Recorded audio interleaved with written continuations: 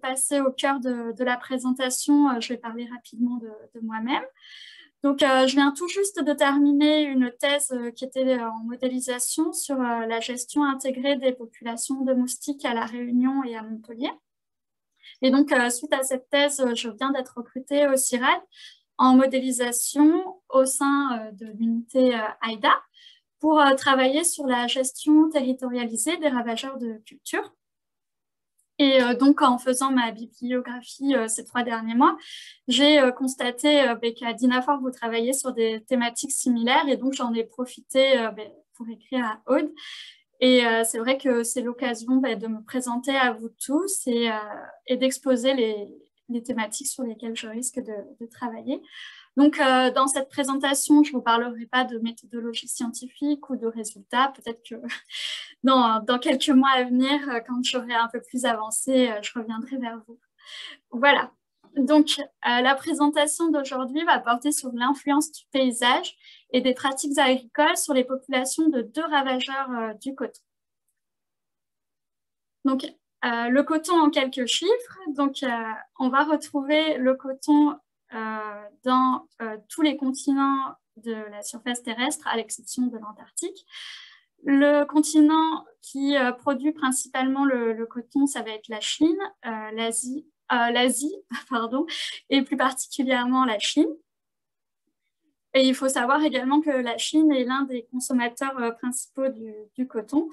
Mais il y a d'autres euh, territoires qui vont produire du coton. C'est notamment, par exemple, le cas de l'Océanie et de l'Afrique de l'Ouest. Bien que cette production soit moindre comparée à la Chine, il faut savoir que le coton représente une part importante des revenus pour 2 à 3 millions d'exploitations familiales en Afrique de l'Ouest et on recense euh, à l'heure actuelle 16 millions de personnes qui vont être impliquées dans la production, la transformation et la commercialisation commercialisation du coton en Afrique de l'Ouest, donc ça reste une source de revenus assez importante pour ce territoire. Quand on regarde du côté du rendement, cette fois-ci, on peut voir que l'Afrique de l'Ouest et l'Afrique australe vont être euh, des, des, territoires où on va avoir un rendement du coton qui va être moindre comparé à d'autres territoires.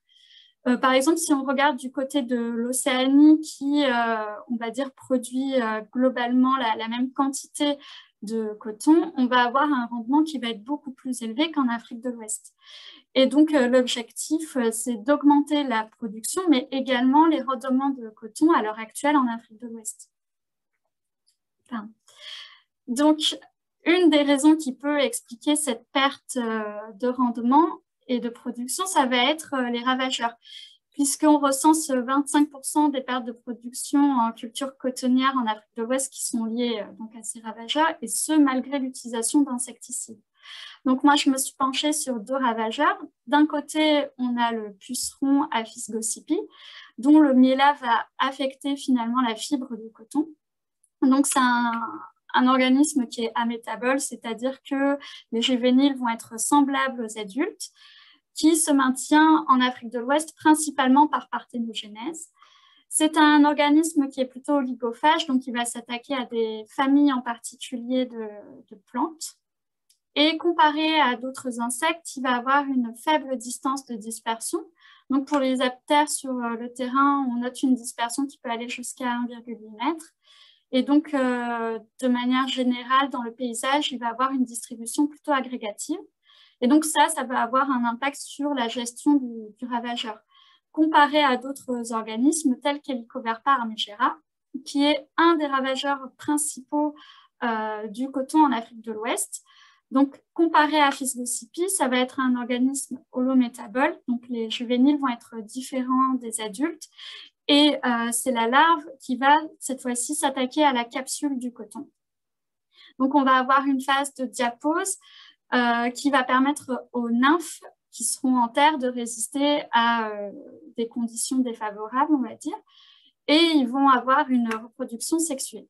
Donc, ce qui a d'important comparé à Physgosipi, c'est que c'est un organisme qui est polyphage, donc qui va s'attaquer à une grande quantité de, de, plantes différentes. Il a une forte distance de dispersion, euh, jusqu'à 10 km au sein d'un paysage, Et donc, on va avoir des distributions comparées à Physiosipi des populations d'Helicoverpa armigera dans le, paysage qui va être globalement homogène. Donc, à, partir de, ça, il faut réussir à trouver des méthodes de gestion qui vont permettre euh, finalement le, contrôle de ces différents ravageurs qui ont des écologies et des biologies différentes. C'est pourquoi la modélisation va être un outil euh, précieux puisqu'elle permet à la fois de comprendre la dynamique des populations d'insectes et également d'optimiser in silico euh, les gestions de populations de ces organismes. C'est pourquoi, euh, tout simplement, quand on va sur Web of Science et qu'on tape différents mots-clés qui ont attrait à la modélisation spatiale, au paysage, à l'agriculture ou encore aux pestes et aux insectes, on va voir un nombre de publications qui va euh, augmenter euh, de manière quasi linéaire depuis euh, maintenant 20 ans. Et dans le cas de Pelicoverpa, Armigera et Aphysgosipi, j'ai recensé au total 18 modèles. Donc la question, c'est de savoir sur quelle base je peux repartir et qu'est-ce qui reste à explorer. Donc, parmi ces modèles et de manière générale, toutes les, les, recherches qui ont attrait à ces deux ravageurs-là, on peut globalement les, regrouper selon trois catégories. Donc, on a d'une part les études qui, ont, qui sont à macro-échelle, on va dire, donc à l'échelle euh, du continent ou alors d'un pays, qui vont être des modèles qui vont prédire la distribution d'une espèce ou encore qui vont euh, prédire les routes migratoires que peut utiliser Helicoverpa armigera, puisqu'il s'agit d'un migrateur facultatif. On a également des, études qui vont être réalisées plutôt à méso-échelle. Donc, ça va être par exemple l'échelle du paysage, où on va étudier l'impact de la composition et de la configuration des, habitats au sein d'un paysage sur la dynamique des ravageurs. Et on va avoir également des études qui vont étudier l'impact de la lutte biologique ou des pratiques agricoles sur euh, ces ravageurs. Et enfin, en dernier lieu, on a des études qui sont faites à micro-échelle, donc c'est plutôt l'échelle par exemple de la parcelle, où on va étudier euh, également la lutte biologique ou l'impact de la diversité végétale sur les, ravageurs de culture. Donc, euh, c'est mon avis, je trouve qu'il y a quand même très peu de, modèles euh, mécanistes, et en particulier dans le cas d'Aphis Gossipi. généralement, les modèles que j'ai trouvés sont plus pour les pucerons du blé plutôt que sur les pucerons du coton, bien que euh, je pense que la biologie reste semblable. Ah, pourquoi ça a changé? Pardon, je ne sais pas pourquoi ça veut. Ok. Euh, donc, euh, du coup, maintenant, je vais aborder vraiment les études qui ont été faites à méso-échelle. Ah, pourquoi ça bug? Pardon, je suis désolée, à chaque fois, ça change rapidement. donc, à méso-échelle, on va avoir toutes les études qui vont avoir attrait euh, à euh, l'impact de l'hétérogénéité du paysage sur euh, l'abondance des ravageurs. Et donc, concernant Aphis gossipi, comme c'est un organisme oligophage et qui finalement se déplace peu comparé à d'autres insectes, je me suis dit qu'il y aurait peut-être une hypothèse de concentration de la ressource. Donc, cette hypothèse, stipule que les populations de ravageurs sont plus à même de se développer sur des parcelles de monoculture. Et donc, euh, elle prévoit euh, une réduction finalement des capacités des herbivores, et en particulier des herbivores spécialistes, à utiliser, efficacement euh, leurs plantes dans un paysage où il y aurait une forte diversité végétale. Or, euh, dans le cas d'une étude de Clafin, il ne trouve pas d'effet euh, du pourcentage des cultures sur, euh, sur l'abondance d'Aphis Cependant, dans la thèse de Thierry en 2015, il met en avant cette hypothèse de concentration de la ressource dans, dans un de ses modèles. Et en revanche, il note qu'il y a un effet faible du paysage sur cette espèce-là. Donc, qui est donc, euh, dans le cadre de sa thèse, il s'est concentré sur euh, le puceron du céréal. Euh, dans le cas des armigera, c'est différent puisqu'il s'agit finalement d'une espèce qui est polyphage et qui se disperse beaucoup. Dans des études de terrain, il a été montré que finalement, la complexité du paysage allait permettre une augmentation de l'abondance d'Helicoverpa armigera car euh, finalement, ce ravageur va exploiter des séquences différentes de plantes pour maintenir euh, des populations substantielles au sein du paysage. Et euh, par rapport, et par ailleurs, les, les stades attractifs de différentes cultures, si elles se chevauchent au cours de l'année, ça va permettre à l'insecte de pouvoir se nourrir de manière continue. Euh, cependant, il est à noter qu'il y a également euh, l'hypothèse de l'hôte alternative qui a été retrouvée dans une autre étude de terrain et également dans le modèle de Paris en 2017, qui dit qu'il vaut mieux augmenter l'hétérogénéité du paysage pour Helicoverpa armigera, puisque ça évite d'avoir euh, une explosion, on dire, de l'abondance du ravageur à un moment donné de l'année, et donc d'accroître finalement les pertes de rendement du coton. Euh, je me dis que finalement, euh, il y a pas mal de, choses qui ont déjà été faites, mais je pense qu'un modèle qui serait appliqué à ces deux ravageurs en Afrique de l'Ouest euh, dans des, des, paysages qui seraient modélisés de manière spatialement explicite permettrait d'éclaircir un peu mieux finalement l'impact du paysage sur ces deux ravageurs. Euh, par ailleurs, on a également euh, l'effet de, la culture et son caractère en termes de, source et de puits. Donc, à savoir en fait qu'une culture peut agir comme source ou puits, c'est-à-dire que euh, les sources vont produire en excès des individus au sein d'une culture qui vont du coup se disperser vers des puits euh, dans lequel il y aura du coup peu d'individus et dont les populations au sein de ces puits vont euh, se maintenir principalement euh, liées au flux depuis les cultures sources. Donc ça, on peut le mesurer en serre, savoir si une, plante va être plus source ou puits. Cependant, il y a l'effet, on va dire, intrinsèque de, de la plante et l'effet euh, qui va être lié finalement à des facteurs externes tels que la pression liée aux insecticides et aux ennemis naturels sur une culture qui va faire que finalement elle va devenir plutôt source puits.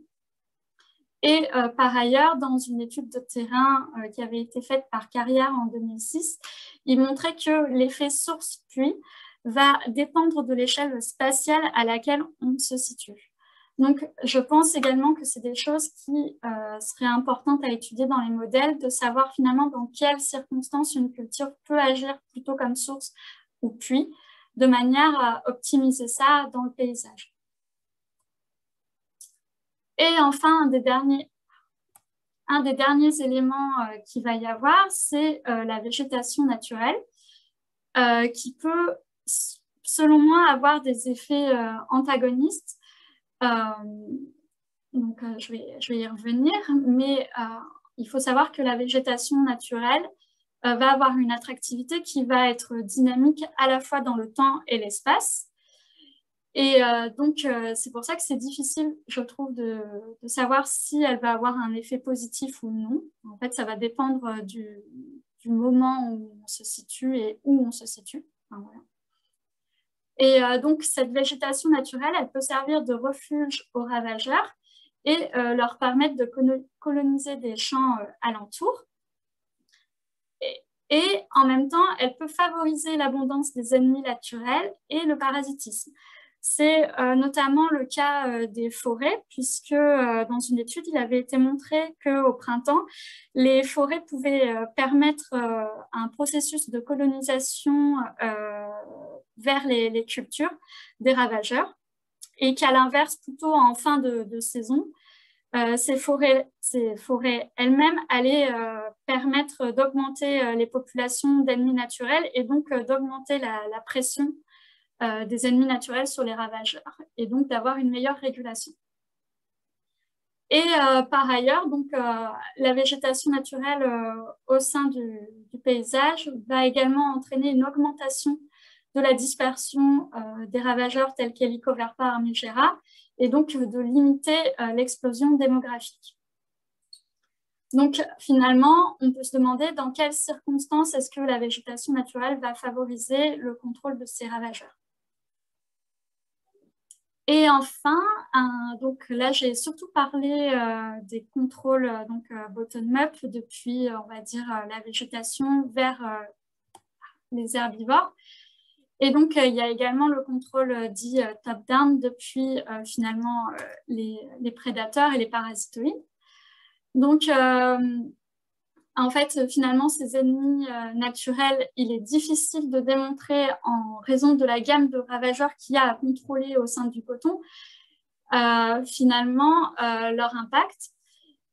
Et euh, il y a déjà un article qui a été fait, euh, qui a été fait sur Afis Gossipi, qui étudiait l'impact d'un ennemi naturel sur euh, le contrôle de, ce ravageur, et donc qui montrait qu'il y allait avoir un fort impact de, de, ce, de cet ennemi naturel, mais qu'il fallait faire attention puisqu'il pouvait y avoir des décalages entre le pic d'abondance des ennemis naturels d'une part versus les ravageurs de l'autre.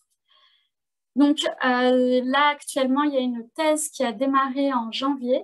C'est une thèse de Lucien Imorou qui va identifier les pratiques agricoles et les éléments du paysage qui vont favoriser euh, la régulation des ravageurs par les ennemis naturels.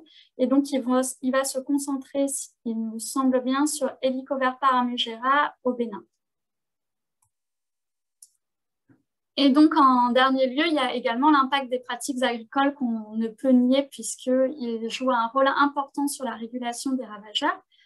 Donc, euh, on a par exemple euh, le labour, le désherbage et l'irrigation qui euh, détruiraient les nymphes qui se trouvent en diapose dans le sol.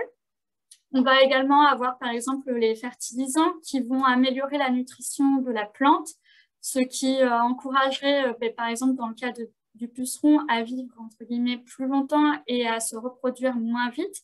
Et donc, euh, ce qui limiterait le, boom, on va dire, de, pucerons, enfin l'abondance de pucerons à un moment donné, et donc réduirait les dégâts.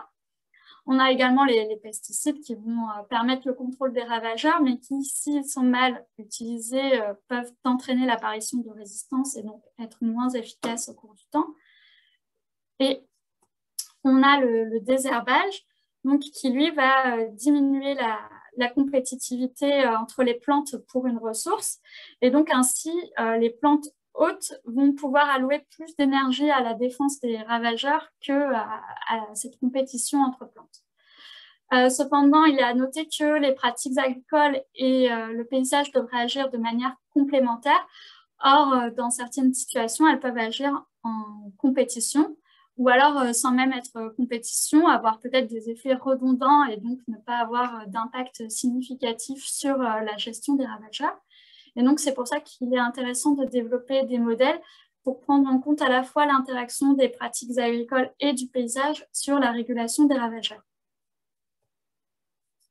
Et enfin, donc ça c'est vraiment à très long terme, dans quelques années, je pense, j'aimerais développer des modèles à base d'agents qui euh, pourront euh, être utilisés par les agriculteurs sous forme euh, de jeux simulation pour qu'ils comprennent l'importance d'avoir une gestion commune d'un ravageur au sein d'un paysage. Puisque dans la thèse, par exemple, de Nicolas Saillou en 2017, il montrait que pour les agriculteurs, le paysage pouvait être vu comme négatif. par ailleurs, il préférait du coup utiliser des pratiques agricoles qui consistaient à s'isoler du paysage. Donc, euh, c'était dans le cadre d'études autour des, vergers, et donc c'était via l'utilisation, par exemple, de, filets. Et enfin, euh, de ce fait-là, les agriculteurs ne voyaient pas nécessairement l'intérêt d'avoir une action collective. Et donc, je pense que euh, utiliser des jeux multijoueurs basés sur des simulations comme a pu euh, le faire euh, Revaudot et Dangle en 2011 euh, sur le coton, permettrait donc de, mieux comprendre l'impact d'avoir une, gestion commune de, ces ravageurs. Donc, vu les, finalement les thématiques que j'ai présentées